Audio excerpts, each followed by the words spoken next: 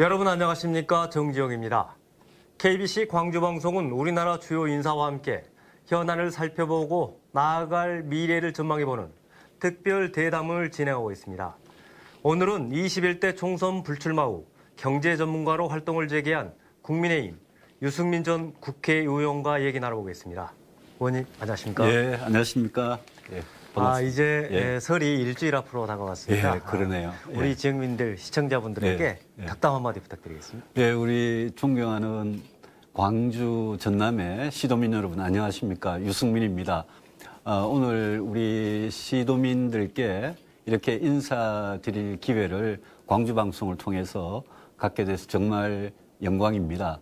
참 오랜만에 인사드리는 것 같은데, 어, 그동안도, 어, 광주 전남에 대한 저의 사랑은 여전히 변함없다는 말씀을 꼭 드리고 싶고, 이번에 코로나 때문에 어, 최근에 굉장히 고생을 많이 하셨더라고요. 참 안타깝게 생각하고 제가 대구 출신인데 어, 지난 코로나 초기에 대구에서 코로나 확진 사태가 있었을 때 광주의 의료진 또 광주 시민들께서 많은 성원을 보내주셨는데 어, 정말 감사하게 생각하고 이번에 코로나 위기 우리 광주에서 꼭 좀 잘 극복하기를 바랍니다. 감사합니다. 아, 국회의원 활동 사선, 사, 사선이셨죠? 사선 됐습니다. 16년간 활동을 하셨는데요. 이제 지난해 이제 총선에 불출마하면서 이제 의정 활동을 마무리를 하셨어요. 네. 그동안 어떻게 지내셨나요? 총선에서 참패했죠. 참패하고 어, 총선 직전에 이제 저희들이 하던 작은 정당, 새로운 보수당하고 자유 어, 한국당이 합쳐서 미래통합당이 된 건데 어, 특히 수도권에서 크게 졌습니다. 그래서 어, 총선 이후에 거의 반년 이상을 어, 좀 지난 세월에 대한 반성도 하고 제가 정치한 지가 지금 21년이 됐는데 어, 뒤돌아보고 반성도 하고 또 앞으로 이제 제, 저에게 남은 어떤 정치적인 소명 이런 게 뭔지 어, 굉장히 좀 깊이 생각해 보는 그런 시간을 가졌습니다. 저한테는 뭐 늘 쉴 새 없이 달려왔는데 이번에 한 6개월이 굉장히 좀 소중한 그런 시간이었습니다. 네. 총선 불출마 상당히 이, 어떻게 보면 이 고뇌의 큰 결단이었던 것 같아요. 예. 사실상 보수 재건을 위한 백의종군 이렇게 일을 했는데 예. 어, 총선에서 안타깝게도 선택을 받지 못했어요. 예. 그 부분에 대해서는 어떻게 생각하시는가요? 어, 이렇게 자유한국당하고 새로운 보수당이 합치긴 합쳤는데 그냥 통합만 했지. 이 우리나라 보수 정치에 피- 필요한 그런 변화와 혁신 이런 모습을 보여드리지 못하고 많은 유권자께서 저희 지금은 국민의 힘이라는 이름으로 있습니다만은 많은 유권자께서 저희 제1야 야당을 보시는 눈이 4년 전, 5년 전 탄핵했던 그때 그 모습, 낡은 보수의 모습에서 변함이 없다. 이렇게 보시는 것 같아요. 그래서 문재인 정권이 이렇게 잘못하고 해도 그래도 손이 이렇게 어, 야당한테는 안 간다. 이런 정서가 수도권의 젊은 층에 특히 보수, 진보, 양극단을 또 싫어하시는 중도층에 굉장히 많았다고 생각합니다. 그래서 지금 저희들이 뭐 지금 대선 이후에 대선을 포함해서 대선 이후에 큰 선거만 해도 지금 세 번을 참패를 했는데 어 앞으로도 서울 부산시장 재보선이 있고 곧 있고 그리고 대선이 있지 않습니까 내년에? 그 저희들이 정말 한국의 보수 정치가 우리 국민의 힘을 중심으로 어떤 변화 혁신 모습을 보이고 그게 또 국민들께서 제일 고통스러워하는 그런 문제들을 아, 저 사람들은 우리 문제, 우리 국민의 문제를 어떻게 해결해 줄까? 이런 모습을 저희들이 잘 보여드리면 어, 좀 희망이 있지 않겠냐 그래서 생각합니다. 앞으로 선거는 음, 조금 읽다가 뒤에서 좀 예, 이야기하는 걸로 예, 하고요. 예. 어, 어찌됐건 21대 총 이제 국회가 이제 들어섰는데 원 구성에서부터 법안 처리까지 그렇죠. 여야의 예. 갈등이 상당히 좀 심한 예, 게 있는 상황이에요. 예. 어떻게 보시는가요? 이건? 제가 이제 국회 몸을 담고 있지 않지만 16년 동안 있었던 국회를 생각해 보면 이번에 총선 결과가 이제 뭐 더불어민주당이 180석의 의석을 가지고 이렇게 완전히 이제 한쪽으로 기울어진 운동장이 됐는데 그럼에도 불구하고 여당, 야당은 다 자기의 역할이 있다고 생각을 합니다. 어, 여당은 집권하고 있는 정부를 뒷받침하기도 해야 되지만 여당도 국회이기 때문에 행정부에 대한 견제나 이런 걸 하고 뭐 기본적으로 정치라는 게 우리 시대의 문제, 국민들이 문제, 나라의 문제를 해결하는 건데 우리 국민들께서 가장 절실하게 지금 고통을 받고 있는 경제 문제, 또 부동산 문제, 또 코로나 위기를 극복하는 문제, 그 밖에도 나라 전체의 문제라고 할 수 있는 뭐 저출산이나 양극화 문제 이런 문제를 해결하는데 21대 국회가 얼마나 역할을 했느냐. 지난 뭐 지금 반년 이상밖에 안 지났습니다만은 21대 국회에서 하는 걸 보면 저는 굉장히 좀 국민들께서 실망을 하신다 싶고 제일 큰 제가 야당이지만 에, 여당의 책임을 제가 이야기를 안 할 수가 없는 게 180석이라는 절대적인 의석을 가졌기 때문에 그만큼 자기들이 평소에 자기들이 하고 싶었던 예컨대 공수처다 검찰 개혁이다 뭐 그런 것도 중요하겠지만 국민들이 제일 관심 있고 고통받는 그런 문제들에 대한 해결을 여당이 얼마나 했느냐 그 점에 대해서 좀 반성이 필요하다고 생각하고 저희 야당 입장에서는 비록 숫자가 100석밖에 안 되지만 그럼에도 불구하고 100석이라는 숫자가 작은 숫자가 아니지 않습니까? 이 100석의 의석을 가지고 저희들이 국민들한테 국회에서는 수의 힘으로 밀리지만 국민들께는 아, 저 사람들 말이 맞다. 저 사람들이 내놓는 해결책 대안이 맞다. 이런 모습을 좀 못 보여드린 그런 아쉬움이 있습니다. 네. 예. 이제 국회에 대한 평가고요. 예. 이제 또 하나 이제 정부에 대한 평가. 예. 어, 문재인 정부가 이제 1년 임기가 1년 앞으로 예. 이제 다가왔습니다. 지금 현재 아, 4년 가까이 어, 운영을 해왔는데요. 어, 이번 정부에 대한 평가 어떻게 좀 내릴 수 있을까요? 저는 솔직히 지난 대선에 나갔던 사람이지만 문재인 대통령 취임식에도 제 혼자 유일하게 갔었고 저는 문재인 대통령과 이 정부가 정말 국민들을 위해서 나라 발전을 위해서 우리나라의 미래를 위해서 잘 해주기를 정말 바랐습니다. 그건 제 진심이고요. 그래서 예컨대 문 대통령이 취임사에서 국민 통합을 하겠다. 또 기회는 평등하고 과정은 공정하고 결과는 정의로운 그런 대한민국을 만들겠다. 이런 말씀을 하셨을 때 저는 그 분의 저 말씀은 진심이라고 제가 믿었습니다.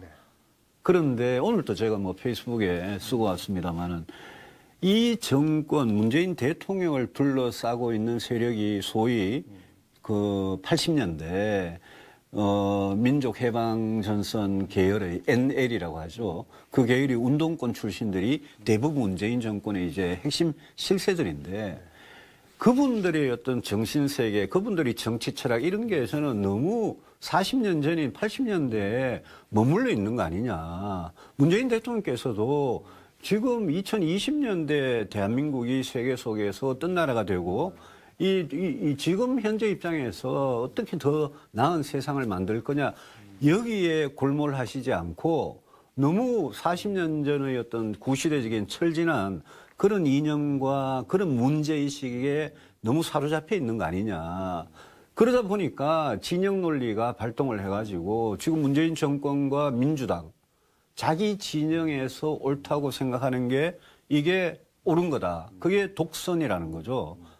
거기에 너무 빠져가지고 좀 야당이나 국민이나 자기를 찍지 않았던 국민들이나 이런 분들하고 진심을 터놓고 대화하고 같이 이야기하면서 이 나라의 문제들을 어떻게 해결할 거냐 이런 데 대해서 의식이 좀 부족했다. 예. 그래도 예. 잘한 점 하나 꼽아라면 또 없나요? 코로나 위기에 대처를 한 거, 그거는 저는 뭐 비교적 잘했다고 봅니다. 잘못한 점도 있는데 비교적 잘했다고 보고 특히 우리 경제가 아직은 다른 나라들에 비해서 이 코로나 세계적인 경제 위기 속에서도 선방하고 있는 거는 우리한테 아직도 그만한 경쟁력 실력이 우리 기업들 산업들한테 있기 때문이거든요. 그런데 전망은 굉장히 어둡죠. 앞으로 전망은. 그래서 이거를 지금 굉장히 결정적인 순간인데 이때 문재인 정권이든 뭐 지난번에 박근혜 이명박 정권이든 이 소중한 시간을 다들 보수든 진보든 5년씩을 다들 협의하는 게 이제 굉장히 아쉬운 거죠. 예. 예, 예, 알겠습니다. 예. 어, 현안들 하나씩 좀 짚어보겠습니다. 예, 예. 가장 먼저 떠오르는 것은 아마 부동산 문제 아닌가 예. 싶습니다. 예.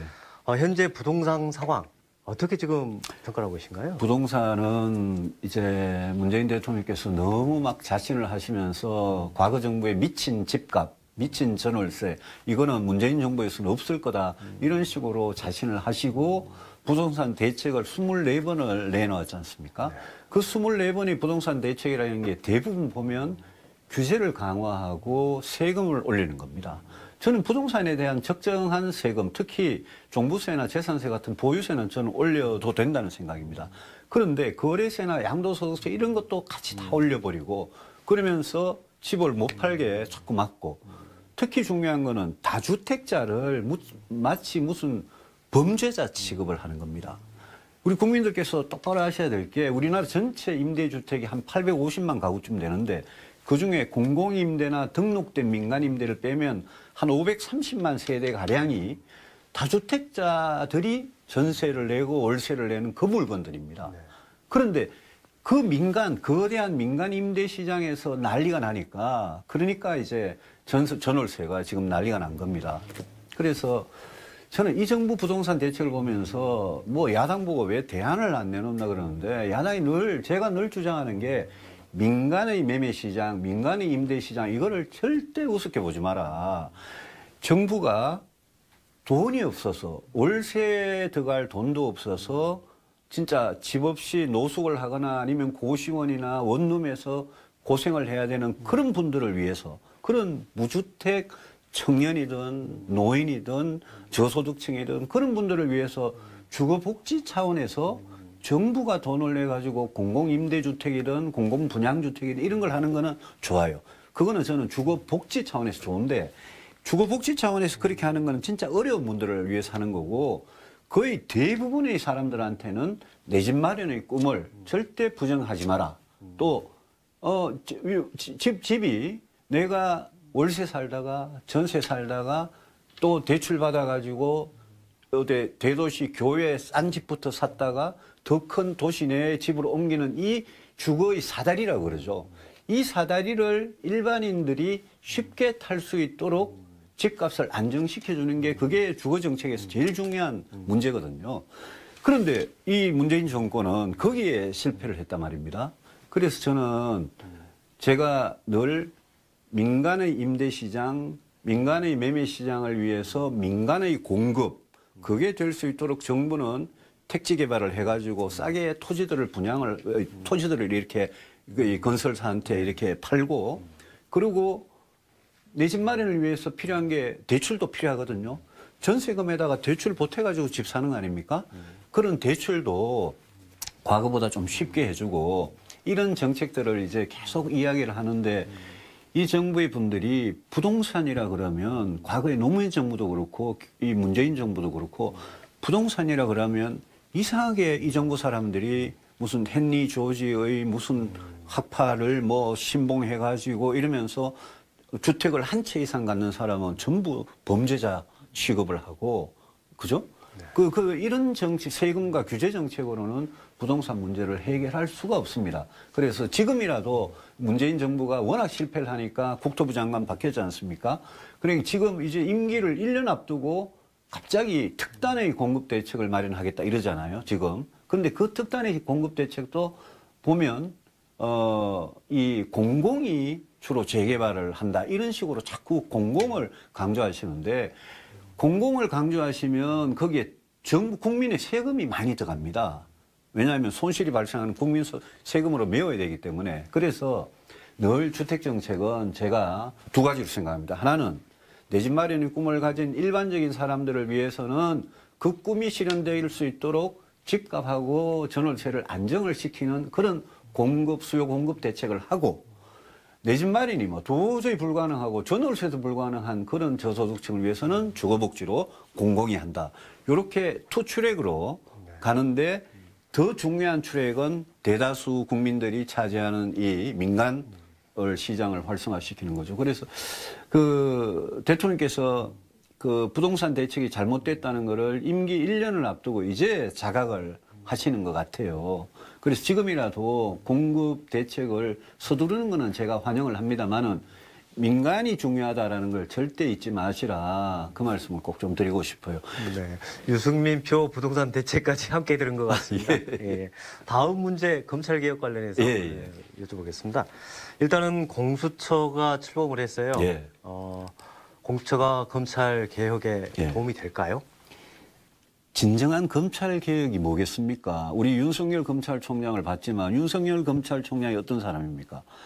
그 이 정권이 출범하기 전부터 그 특검의 조사팀장이 돼가지고 박근혜 전 대통령, 이명박 전 대통령 그 이 특검 시절 또 서울중앙지검장 시절에 다 구속 예? 시키고 그 기소한 그 사람 아닙니까?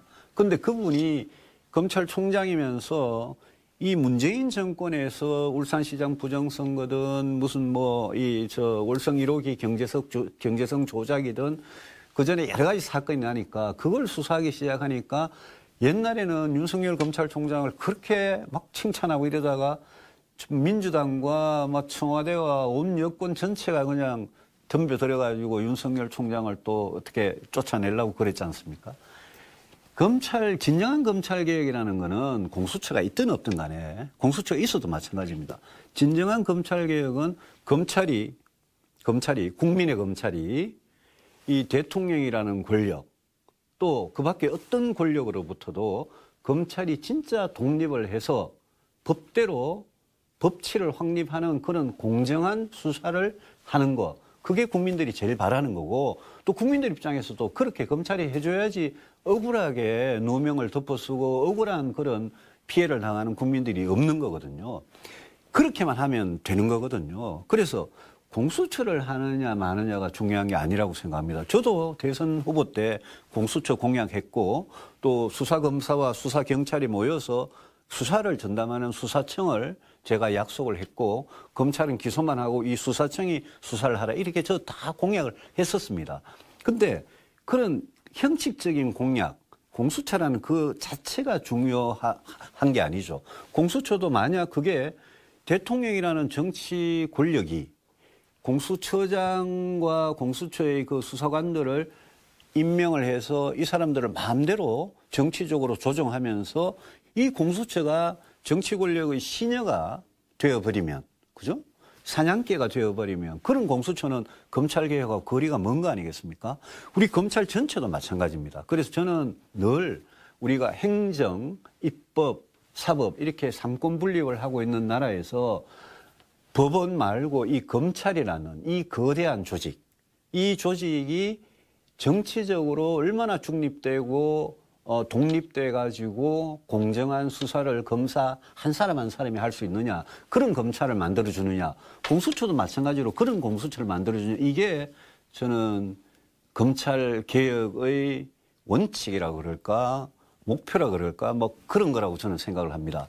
그런 점에서 비추어 비추어 보면 지금 검찰 지금 검찰이 법무부 장관, 추미애 법무부 장관이 계실 때 법무부 장관하고 검찰 사이의 갈등 또 정치인들이 지금도 국회에서 법관에 대해서 탄핵을 하고 있지 않습니까? 정치권이 여당이 집권 여당이 검찰에 대해서 이거는 자기들한테 불리한 수사를 하면 잘못한다고 비난하고 상대방을 잡아넣는 수사를 하면 그건 또 잘한다고 박수치고 우리 정치권이 그런 식으로 검찰한테 간섭을 하고 그런 식으로 이야기하면 안 돼, 안 되거든요. 그 이런 외압들, 정치권으로부터 외압, 대통령 청와대로부터의 외압, 이거를 버티면서 검찰이 정말 법대로 모든 국민은 법 앞에 평등하다는 그 헌법 조항을 검찰이 지켜가면서 수사를 한다면 어느 국민들이 박수를 치지 않겠습니까? 이제 다음 문제로 코로나19 관련해서 마- 네. 말씀 여쭤볼게요. 앞서 말씀하셨듯이 예. 에, 코로나19에 대한 정부의 대응 비교적 잘했다 이렇게 예, 평가를 뭐. 예. 지금 굉장히 논란이 되는 부분은 예. 재난지원금을 과연 어떻게 지급할 것이냐 지급 방식을 두고 논란이 빚어지고 있거든요. 보편이냐 선별이냐 예, 예. 아, 생각 어떠신가요? 그 문제는 저는 뭐 생각이 너무나 분명한 사람입니다. 어, 제가 코로나 지원 잘했다고 그러는 거는 전반적으로 우리 국민들, 의료진들 다 열심히 합심해서 참 잘한 거고, 다만 이 정부도 초기에 중국으로부터 입국을 막지 못한 거나 백신을 미리 확보하지 못한 거 이런 거는 좀 이렇게 실수가 있었습니다. 있었는데 전반적으로 우리나라 전체가 다른 나라들의 특히 선진국도 유럽이나 미국 그 비해서 코로나 환자들이 훨씬 적고 사망자들이 적은 그게 이제 비교적 상대적으로 잘 됐다는 건데요. 코로나라는 이거는 우리가 한 번도 겪어보지 못한 이렇게 길게 이런 위기가 올 줄은 정말 몰랐죠. 옛날 메르스 때도 안 그랬고 안 그랬지 않습니까? 홍콩 독감 때도 안 그랬고요. 근데 이 코로나라는 게 이래 오니까 뭐라 그럴까요? 이 그 지금 이 코로나 이후에 우리 경제, 우리 사회가 어떻게 될지 지금 걱정이 굉장히 많습니다. 걱정이 왜 많으냐 하면 코로나라는 게 제가 K 양극화라는 영어로 이제 여러분들 영어로 K자 이랬으면 이, 이 짝대기 수직으로 서고 이렇게 K자가 이렇게 벌어지지 않습니까? K자가 이렇게 벌어지는 그 모양으로 우리 사회가 그렇지 않아도 양극화 불평등이 심한데 코로나 이후에는 이게 더 벌어지는 겁니다. 이미 그런 조짐이 보이고 있습니다. 예컨대 여러분들 삼성전자 같은 기업하고 코로나 때문에 문 닫는 식당하고 비교해 보시면 식당은 평소에는 돈 벌고 먹고 살만 했는데 코로나 때문에 완전히 문을 닫아버리는데 삼성전자는 코로나 이전보다 더 훨씬 더 돈을 잘 벌고, 있, 잘 벌고 있단 말입니다. 그래서 이런 것들이 산업 간에 또 개인 간에 이렇게 벌어지는 양극화를 앞으로 우리는 맞이할 거란 말입니다. 거기에 대비해 가지고 국가가 도움이 절실하게 필요한 국민들한테 정말 따뜻한 손길을 내미는 거, 그분들이 인생을, 삶을 포기하지 않도록 국가가 이렇게 안, 사회 안전망을 해주는 거, 이게 이제 재난지원금의 근본 취지란 말입니다. 그 지난 총선 전에 1차 재난지원금을 14조 넘는 돈을 이렇게 주는데 제가 총선 전에 그랬습니다. 아니, 이거는 소득 기준으로 못 사는 분들, 소득 기준으로 하위 50%한테만 드리자. 저는 이런 주장을 했습니다. 근데 그때 전 국민한테 4인 가구 기준으로 100만 원씩 드렸지 않습니까? 다 그거 받으셨지 않습니까?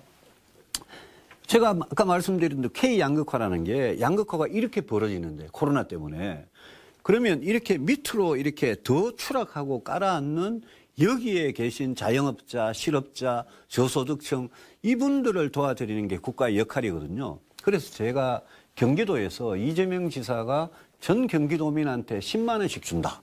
또 우리 1차 지원금 대 같이 4인 가구 기준으로 전 가구에 100만 원씩 준다. 그거는 어떻게 보면 서민들, 불쌍한 분들한테 예? 두 번, 세 번 드릴 수 있는 거를 한 번만에 다 써버리고 그 돈 안 받아도 될 국민들한테까지 줘버리는 겁니다. 지금 우리나라에 예컨대 100만 공무원, 공무원들 월급 나오지 않습니까? 대기업의 회사원들 월급 나오지 않습니까? 그분들한테 경기도에서 10만 원씩 또 전국에, 전국, 전국에서 가구당 100만 원씩 왜 그 돈을 그렇게 씁니까? 저는 코로나 위기를 맞이해서 국가 재정의 역할이 굉장히 중요해진다. 그래서 세금을 더 걷든지 국채를 발행하든지 해가지고 국가가 돈을 어려운 분들을 위해서 더 써야 된다. 재정 확대를 해야 된다는 데서는 저는 뭐 전적으로 찬성합니다.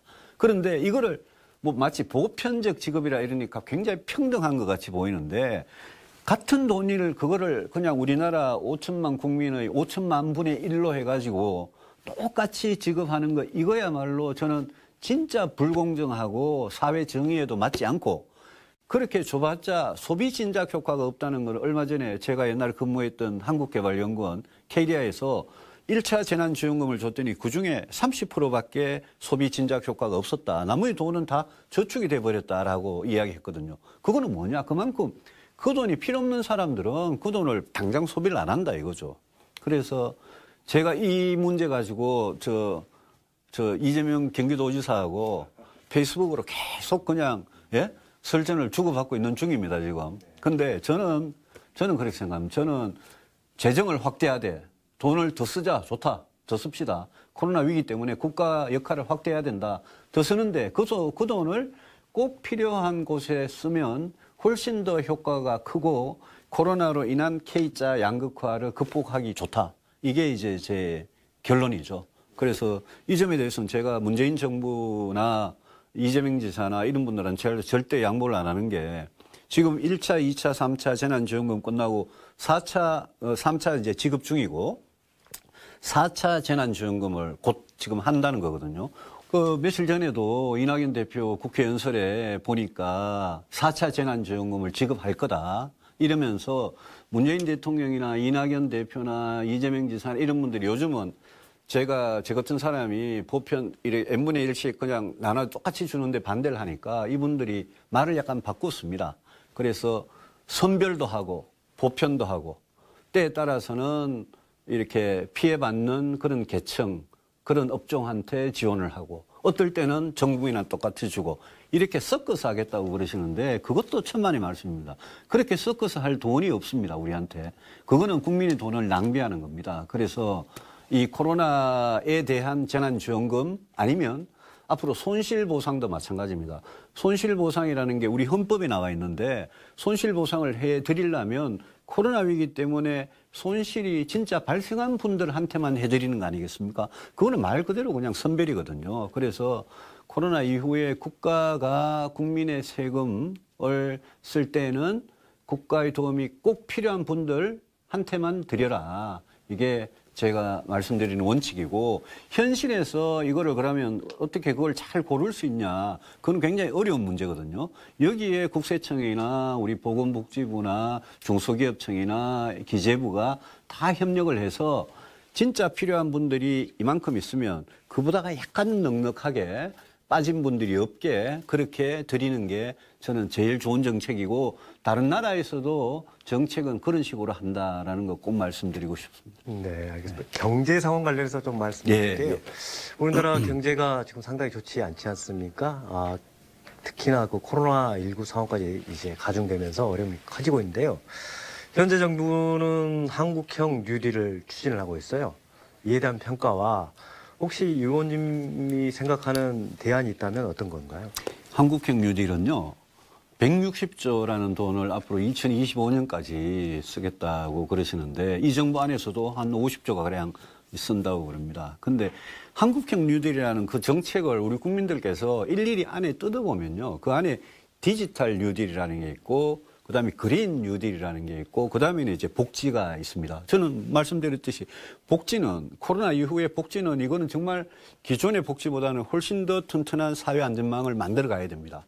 실업자든 저소득층이든 뭐 건강보험이든 이거는 완전 우리가 복지를 어떻게 개혁해서 진짜 이, 이 삶을 코로나 이후에 많이 어려워진 국민들한테 도와드리는 이거는 좋아요. 이거는 좋은데 그 디지털 뉴딜하고 그린 뉴딜 여기에 이제 돈을 많이 쓰는데 그린 뉴딜, 뉴딜은 환경하고 관련된 거고요.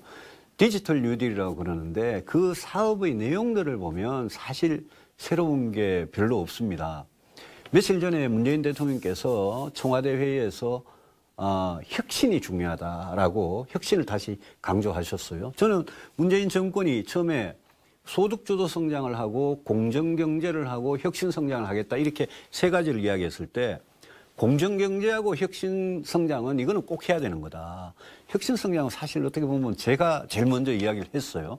근데 뭐 민주당하고 문재인 당시 이제 후보께서 그걸 그냥 이렇게 채택을 하길래 저는 아주 기쁜 마음으로 혁신 성장 굉장히 중요하다고 생각했고 공, 경제를 공정하게 공정한 시장 경제를 만드는 것도 굉장히 중요한데 소득주도 성장 때문에 사실 지난 3년 넘는 세월 동안 경제가 우리 경제가 혁신을 게을리 했던 측면이 있었습니다. 근데 우리 경제가 살아나려면 경제가 다시 성장하려면 정말 혁신 말고는 아무 대안이 없습니다, 지금. 그래서 이 정부가 뒤늦게라도 소득주도 성장의 잘못을 이제 뒤늦, 이렇게 뒤늦게 깨닫고 혁신 성장 쪽으로 이렇게 길을 트는 거는 좋아요. 근데 좋은데 혁신 성장이 이게 말로만 해서는 안 되는 거거든요. 그래서 저는 그렇게 생각합니다. 우리 경제가 크게 길게 보면 제일 중요한 문제가 우리 경제에서 뭐냐? 저는 하나가 저성장, 성장이 이제 안 되는 거. 두 번째가 저출산입니다.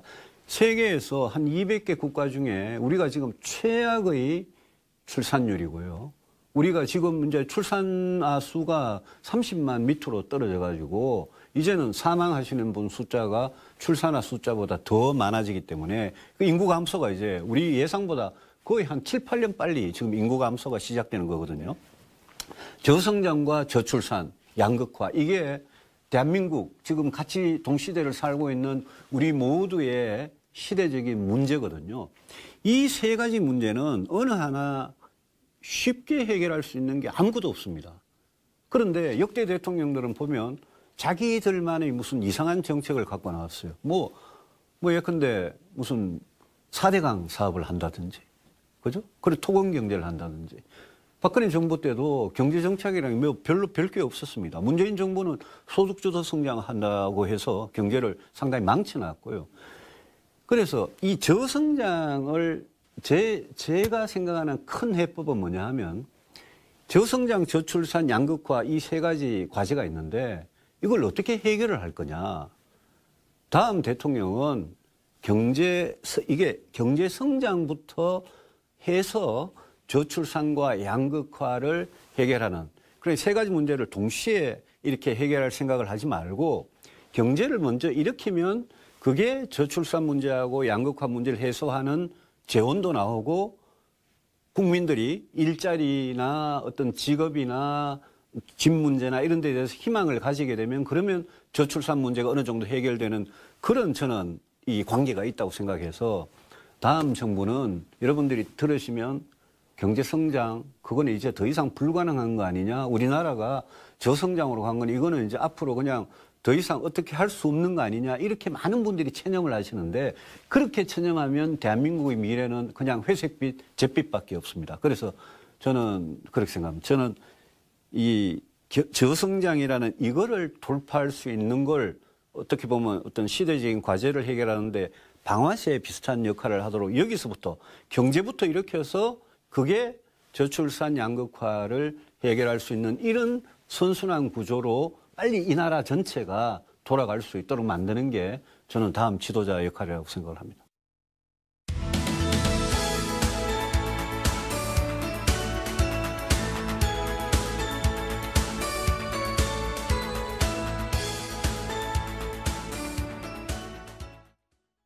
어, 다음 달이면 이제 차기 대선이 일딱 1년 앞으로 다가옵니다. 예. 아, 그 다음 달이면 이제 서울시장과 부산시장의 보궐선거가 있는데요. 예. 아, 그래서 이 보궐선거를 대선 전초전이다. 예. 분석들 하고 있거든요. 예. 어떻게 전망하고 계신가요? 서울시장, 부산시장 선거는 뭐, 뭐 결코 쉽지 않은 선거라고 저는 생각을 합니다. 왜냐하면 그동안 저희 야당이, 제1야당이 대통령 선거 지고 지방 선거 지고 총선 또 참패를 했지 않습니까? 그 서울시장, 부산시장 선거를 저희들이 이기기 위해서 이렇게 뭐라 그럴까 일종의 그 야권 후보 단일화 이것도 지금 서울시장의 경우에는 이야기 많이 되고 있는데 저도 뭐 야권 후보 단일화 해야 된다는 입장입니다. 저희 국민의힘 후보부터 당당하게 뽑고 또 당 바깥에 있는 안철수 후보나 금태섭 후보하고 야권 단일화를 해서 어, 야권에서 한 명의 단일 후보가 나와서 서울시장 선거 반드시 이겼으면 좋겠는데 이보다 더 근본적인 건 뭐냐 하면 저희들이 저희 후보가 또 저희 정치 세력이 저 지금 하고 있는 문재인 정부 민주당 세력보다 저희들이 더 잘할 수 있다는 그런 희망을 보여드리는 겁니다. 아, 저 사람들한테 맡기면 서울시든 부산시든 대한민국이든 저 사람들이 더 잘할 수 있다라는 능력과 도덕성과 그런 어떤 정치적인 철학을 가지고 있다라는 거를 국민들한테 이렇게 보여드리고 국민들이 거기에 대한 신뢰가 생겨야지 선거를 이길 수 있습니다. 그래서 저는 늘 근본적인 거는 저희 당의 개혁, 변화, 혁신이라고 생각하고, 어, 그걸 위해서 야권이 후보들, 후보 단일화를 통해서 힘을 합쳐서 한번 해보자. 저는 결코, 결코 쉬운 선거라고는 생각하지 않습니다. 왜냐하면 지금 민주당에서 이 서울 부산시장 선거가 그 각 시장의 권력형 성추문 때문에 시작된 선거 아닙니까? 그런데 부산에서는 가덕도 공항이라는 그런 이슈 때문에 부산 시민들이 지금 좀 혼란을 겪고 계시고 서울에서도 성, 권력형 성추문은 날아가고 없고 지금 뭐, 예? 그 여당에서 나온 후보들이 거기에 대해서는 뭐 일체 이 이야기가 없고 반성도 없고 내지 않겠다는 후보까지 내가지고 기본적으로 지형이 저희들한테 굉장히 어려운 그런 구도기 때문에 저는 저희들이 뭐 정말 최선을 다해서 서울 같으면 중도층, 젊은층 그 분들의 마음을 얻지 않으면 쉽지 않다.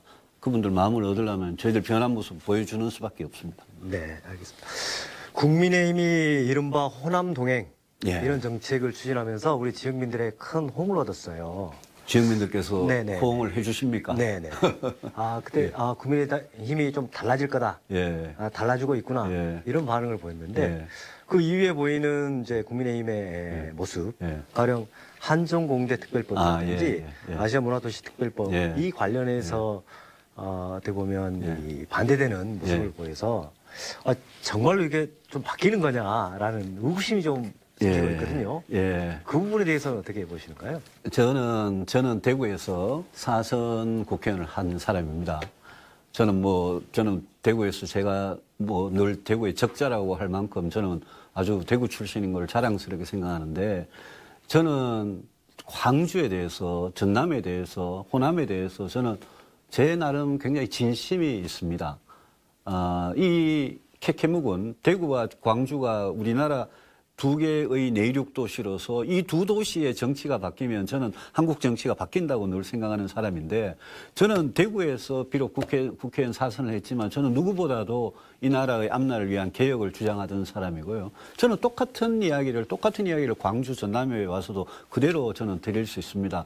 저희들이 호남에 다가서는 그런 어떤 뭐, 뭐 호남에 다가서는 저희들 노력이라고 그러죠. 그 노력이 우리 광주 전남의 호남인들한테 얼마나 이렇게 마음에 이 와닿을지 저는 아직은 자신이 없습니다. 근데 저같이 정말 진심을 가지고 어, 다가오는 사람도 있다는 걸 꼭 기억해 주시고 지역에 아까 제가 가덕도광 말씀을 드렸는데 지역에 관련된 정책에 있어서는 지역구 국회의원들이 지역에만 매몰될 수가 있습니다. 아시아 문화 그 전당, 아시아 문화 아문법이라는 거 소위 아문법은 2015년에 제가 새누리당 원내대표 할 때 제가 영남에서 요걸 엄청 먹어가면서 제가 제 손으로 5년 동안 운영비를 드리도록 제가 연장을 했던 당사자입니다, 제가. 제가 그것 때문에 박근혜 대통령한테 얼마나 또 혼이 났는데요. 그 아문법 처리해 줬다고요. 근데 그 당시의 취지는 5년 동안 그 운영 자금을 대드릴 테니까 5년이 지나고 나면 이 아시아 문화 전당의 운영을 위탁을 해라. 이렇게 됐는데 지금 이제 민주당이 추진하는 법안은 위탁이 아니라 아시아 문화 전당 자체를 문화원하고 합쳐가지고 그거 전체를 국가 기구로 해서 국가 예산을 계속되고 그러면서 거기에 문화원에 근무하시는 분들을 전부 공무원으로 만들자 이런 법안이 올라왔거든요.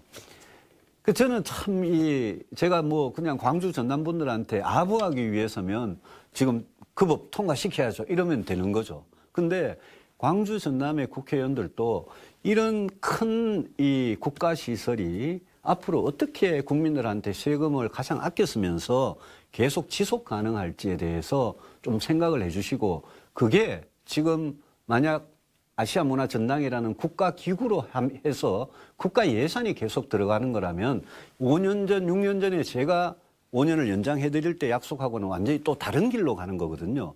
그래서 그러면 그 점에 있어서는 앞으로 국가 예산을 여기에 얼마나 투입하는 게 좋으냐라는 좀 장기적인 그림을 가지고 뭐 민주당이 180석이니까 이 법 통과시키려면 옛날에 통과시켰겠죠. 이번 2월 국회에 이제 통과시킨다는 그런 이야기가 있는데 저는 민주당 의원님들도 똑같은 대한민국 국회의원 아닙니까? 그래서 지역구 국회의원은 자기 지역의 이익만 생각할 게 아니라 나라 전체도 생각해야 되기 때문에 국, 나라 국자 국회거든요. 그래서 저는 좀 이 문제에 대해서 광주 전남 의원님들께서 좀 길게 봐서 너무 지역의 어떤 요구에 휘둘리지 마시고 좀 길게 봐서 정말 아시아 문화 전당이 우리 광주 전남 나아가서 대한민국 전체의 문화 창달에 도움이 되는 방향을 생각해 주시고 한정공대는요. 한정공대는 저는 우리 광주 전남에 좋은 공업대학, 공과대학이 있었으면 좋겠습니다. 저 아마 광주 전남 분들이 굉장히 부러워하시는 게 대전에 가이스트나 아니면 포항에 포항에 포스코 포항 옛날 포항 제철이죠. 포스코가 설립한 포스텍 포항공대가 부러우실 겁니다. 포항공대가 세계적인 석학들을 모셔가지고 거기에서 가속기도 있고 거기 사는 연구들 이, 이게 굉장히 앞으로 그 질이 높지 않습니까? 광주 전남에도 저는 그런 좋은 공과대학이 있었으면 좋겠습니다. 다만, 다만 한전이 탈원전 정책 때문에 이 정부의 탈원전 정- 정책 때문에 한국 전력이 지금 적자가 심각합니다. 그런 적자가 심각한 한국 한국 전력 캡코죠. 한국 전력이 공, 딱 공과대학을 만드는 거기 때문에 어떻게 보면 아까 아시아 문화 전당하고 비슷한 이야기입니다.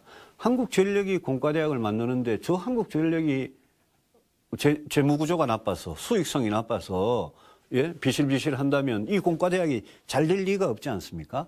그래서 특별법을 통과시키는 건 좋은데 공과대학을 만들려면 정, 진짜 광주 전남 지역의 이 과학 기술의 수준을 진짜 올릴 수 있고 지역의 영재들이 가가지고 거기서 공부해서 정말 지역 발전을 위해서 이바지할 수 있는 그런 훌륭한 공과대학이 돼야 되기 때문에 좀 장기적인 그림에서 과연 한전이 혼자 하는 게 좋으냐. 저는 뭐 법 통과 시키는 건 별 문제 아니라고 생각합니다. 법 통과 되면 지역에서는, 지역 언론에서는 우리 수건 사업이 해결됐다 이렇게 하시겠죠. 그렇지만 길게 봐서 성공할 수 있고 계속 더 잘 될 수 있는 그런 공과대학을 하나 광주 전남에 이렇게 설립하는 거. 그거는 뭐 저도, 저도 정말 진지한 뜻을 가지고 돕겠고 한전이라는 이 울타리가 거기에 과연 적합한 건지 아니면 국가적인 도움이 좀 필요한 건지 초, 초기에 그런 점도 좀 충분히 생각하셨으면 좋겠습니다. 이런 말씀이 어떻게 들릴지 모르겠습니다만. 아마 지금분들한테는 도움이 되지 않을까요? 예. 일- 마지막으로 이제 대선 이야기를 좀 해볼게요. 예, 예. 아, 의원님께서는 이미 대선 출마를 선언하셨어요. 뭐 출마 선언은 앞으로 공식적으로 폼나게 이제 한번 하려고 그럽니다. 네. 네. 예. 특히 그 마지막 정치 도전이다 라는 예. 말까지, 예. 말씀까지 하셨는데 예. 왜 유승민이어야 하는지. 저는 제가 21년, 지금 22년째 정치를 하고 있습니다.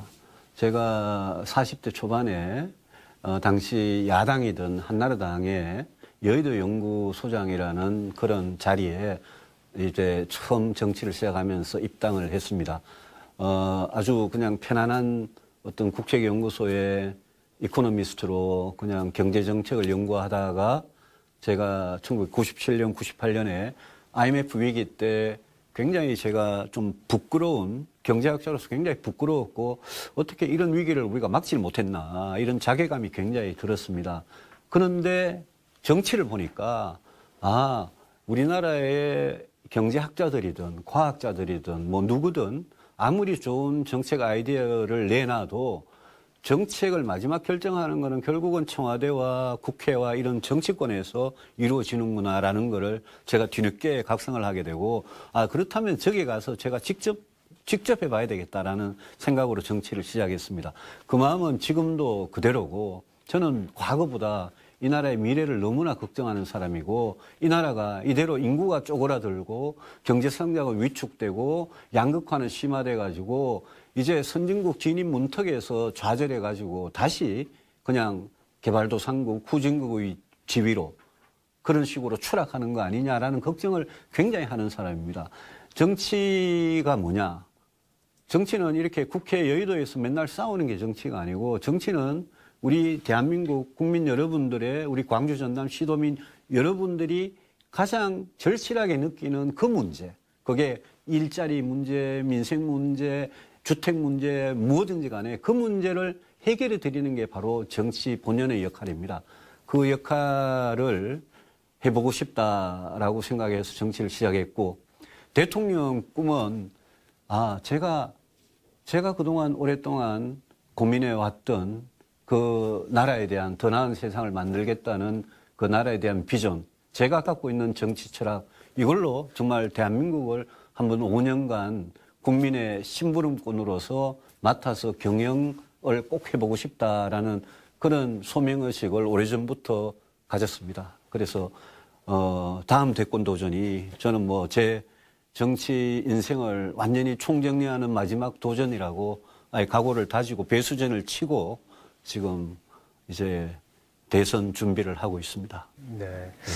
어, 이 시간을 통해서 유 의원님 생각 좀 많이 알게 됐습니다. 준비된 시간이 거의 다 돼서요. 아, 그렇습니까? 예, 예, 끝으로 우리 지역민들에게 네. 예, 한 말씀 부탁드리겠습니다. 예, 우리 광주 전남 우리 그 어, 시도민들 자주 못 뵀습니다만은 제가 고등학교 3학년 때 어, 졸업을 앞두고 대학 시험 치고 어, 제가 혼자 어, 대전에 가서 버스를 갈아타고 전주에 갔다가 광주에 간 게 제가 광주에 처음 가본 겁니다. 그때 광주의 시내버스에서 들었던 그 양푼이에 장사하시는 광주 아줌마들의 어, 제가 잘 못 알아듣겠는 사투리가 아직도 귀에 생생합니다. 광주는 대구에서 한 직선거리로 한 180km밖에 안 됩니다. 이 좁은 대한민국에서 제가 아까도 말씀드렸듯이 저는 광주와 대구 이 두 내륙 도시의 정치가 바뀌면 우리 한국 정치가 바뀐다고 생각합니다. 광주 전담에도 저같이 보수 정치가 바뀌고 보수 정치가 개혁적으로 바뀌어야 이 나라 정치가 바뀐다. 또 제가 생각하는 정책, 제가 생각하는 정치 철학 거기에 동의를 해주시는 그런 호남인들이 광주 전남에도 분명히 저는 많다고 생각을 합니다. 이제 앞으로 우리 선거가 더 이상 이렇게 지역의 포로가 돼가지고 하는 선거가 아니라 정말 어떤 사람한테 이 나라를 맡기면 더 잘 갈 수 있을까 그거를 국민들께서 선택해 주는 그런 선거가 되리라고 생각하고 제가 우리 광주 전남 시도민들께 더 좀 자주 가까이 가서 저희 진심을 알리도록 그렇게 하겠습니다. 네, 좋은 말씀 감사합니다. 네, 고맙습니다. KBC 특별대담 오늘은 유승민 전 국회의원과 함께했습니다. 따뜻한 보수를 꿈꾸는 유승민 전 국회의원의 더 멋진 활동 기대하겠습니다. 시청해주신 여러분 고맙습니다.